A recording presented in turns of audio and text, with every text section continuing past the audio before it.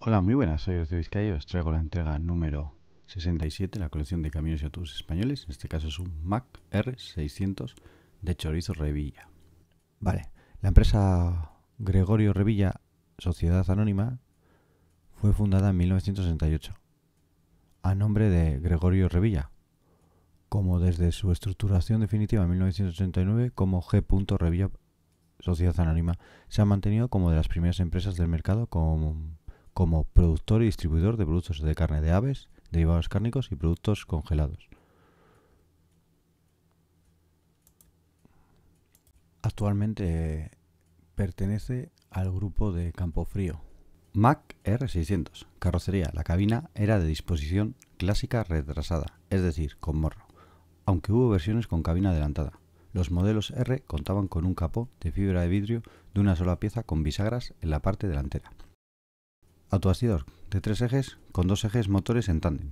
Disponía de un freno de servicio neumático con circuitos independientes y un freno de mano de tambor sobre la transmisión. El cambio contaba con 10 velocidades y dos marchas atrás. El antecesor, el Mac B61S, anterior al R600, poseía una mecánica que mantendrían los futuros modelos de la serie R. Contaba con un motor aspirado de 11.000 centímetros cúbicos y 6 cilindros en línea que desarrollaban 170 caballos, a 2.100 revoluciones por minuto. Equipado con una bomba de inyección rotativa Rosa Master, disponía de un embrague monodisco en seco y una caja de cambios de 10 velocidades y dos marchas atrás. El doble puente motor trasero lleva un tercer diferencial entre ejes. La servodirección era hidráulica y la suspensión por ballestas y barra estabilizadora delantera, y por ballestas de hojas gruesas atrás. Disponía asimismo de frenos de aire comprimido y frenos de mano sobre la transmisión. Sobre el bastidor, de acero, de acero al cromo manganeso, tratado térmicamente, se montaba una cabina de tipo clásico suspendida en cuatro puntos por cojinetes de goma. Tratada en la Feria de Muestras de Barcelona en 1966, el Mac R600 respondió a un reemplazamiento de la marca, que había creado la serie R a finales del año anterior.